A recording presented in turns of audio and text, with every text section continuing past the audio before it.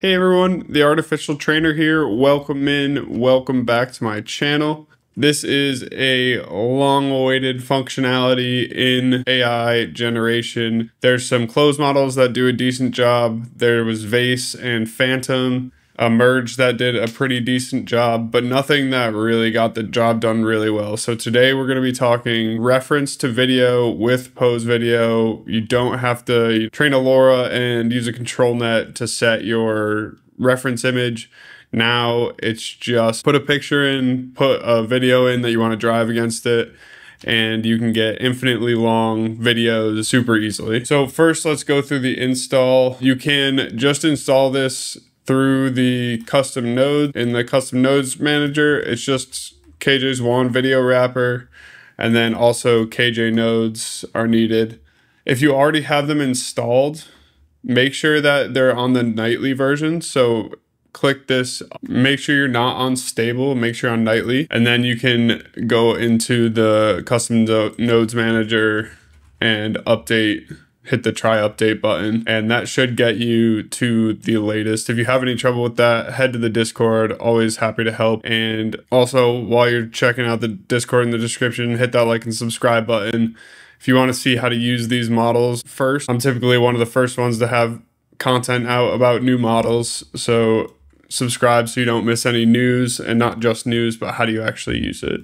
All right, so next let's head to the model downloads. So model downloads are in the description below. I have them in a text file here. They should match up. Uh, while you're downloading those models, just watch the video. This video especially has some you know things that you have to do in the workflow that aren't just click the button and let it run. So download the models, watch the video, and then come back and plug the models into your Comfy UI folder, and then you'll be good to go. All right, so first thing, uh, I'll just show you, you know, a couple of these, and then you can go in and do the rest of them yourself. It's pretty, pretty clear. So we're in the Comfy UI folder.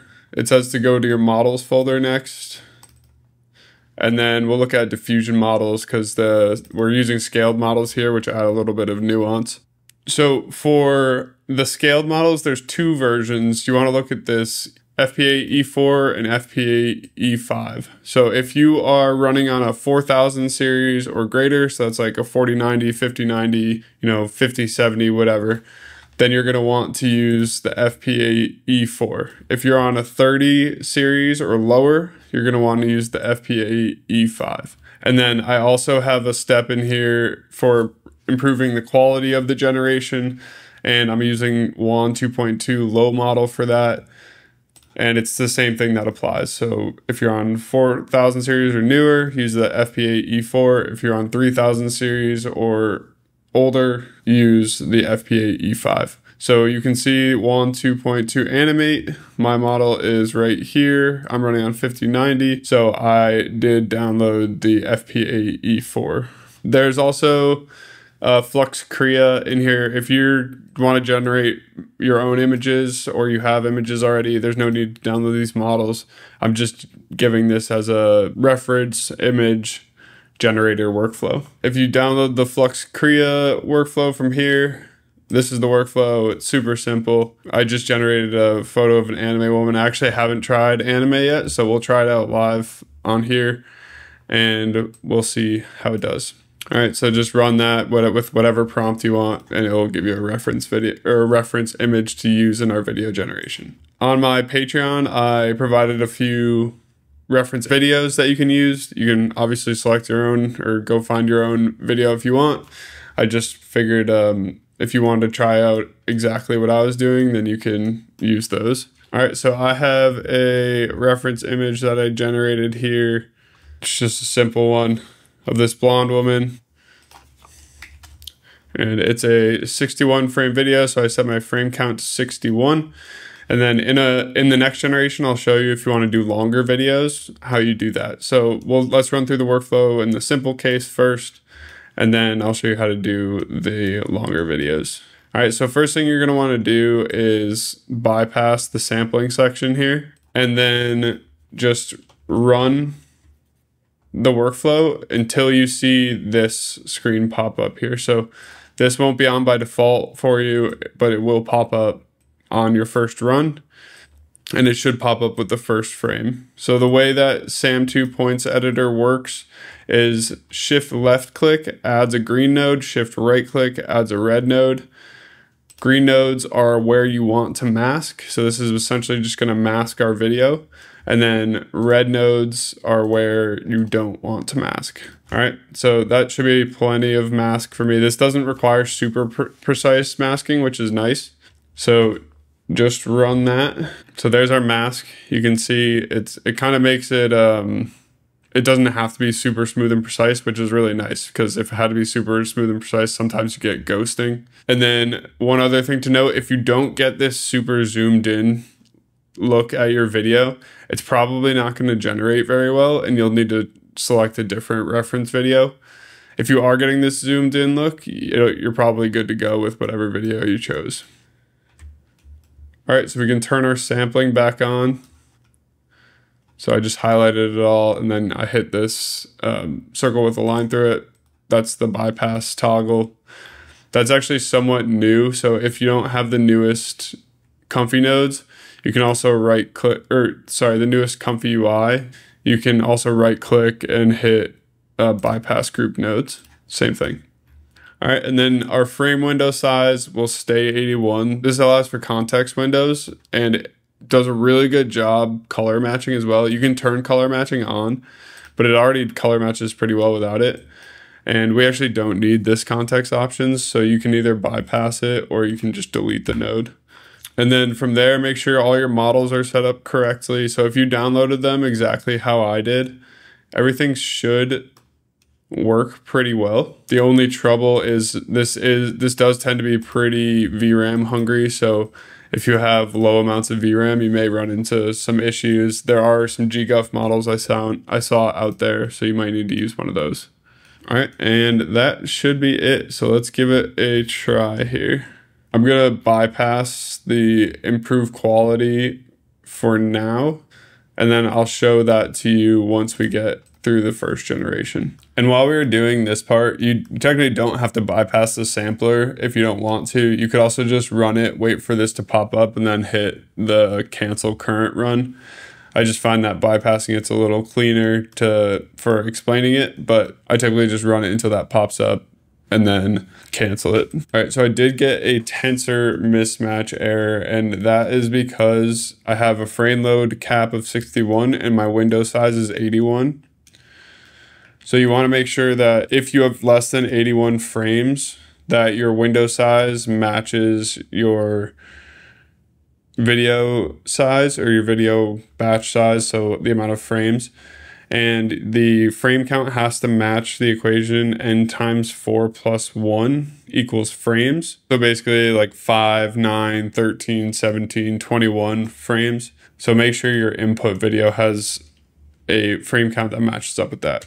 All right, so there is our generation. Really solid.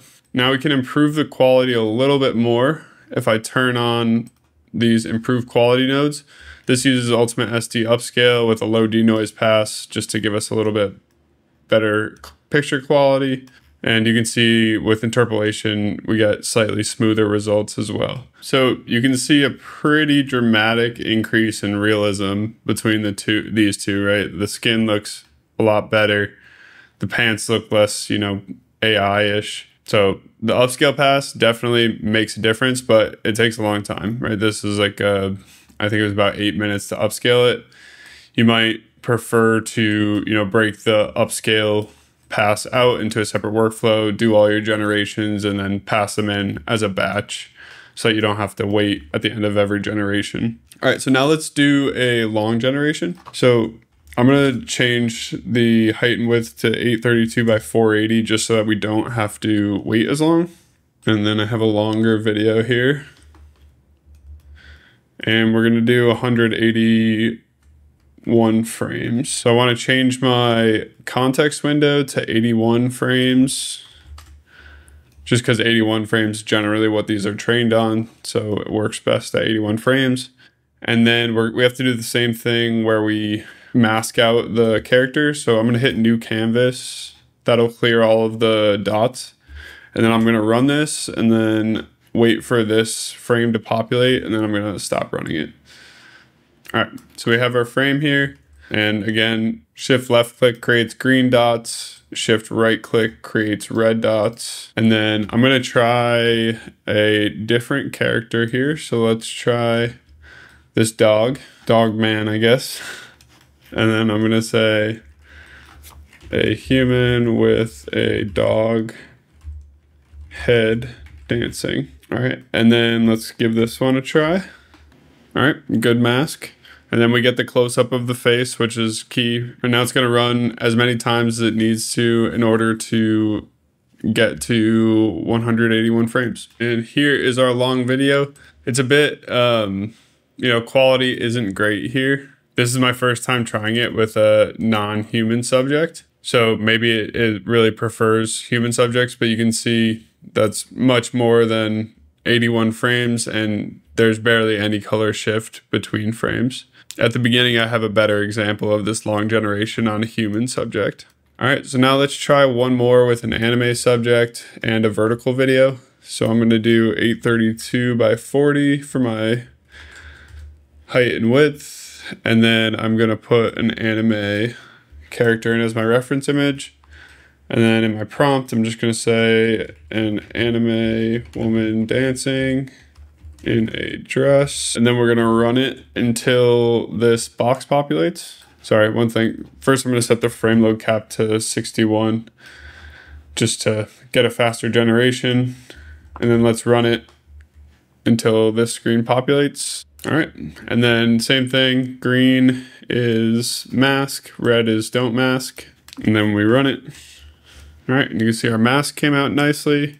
We got the zoomed in image of the person's face, which we needed, and now it's running through the generation. Oh, and I made one mistake. Since it's only a 61 frame video, need to change the frame window size to 61. Hopefully that's fixed in the future and you won't have to modify that if the video is less than 81 frames. All right, and here's anime.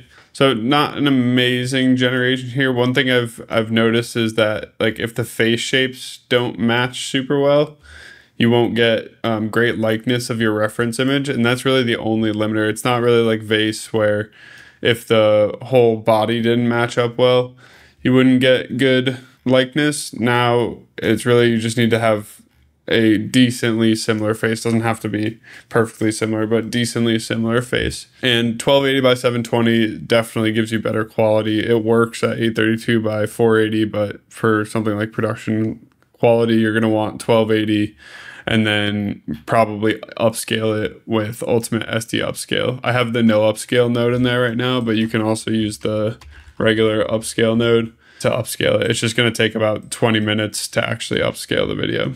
Okay, so that is it for this video. I hope you guys enjoy this model. There's de definitely going to be native Comfy UI nodes coming for this shortly, so once those are out, I'll also make a video on how to use the native version. If you have any trouble getting this up and running, head to the Discord. Tons of people are definitely going to be trying this out over the weekend. So head over there and find some help if you need it. I appreciate you watching this video, and I'll talk to you again in the next one.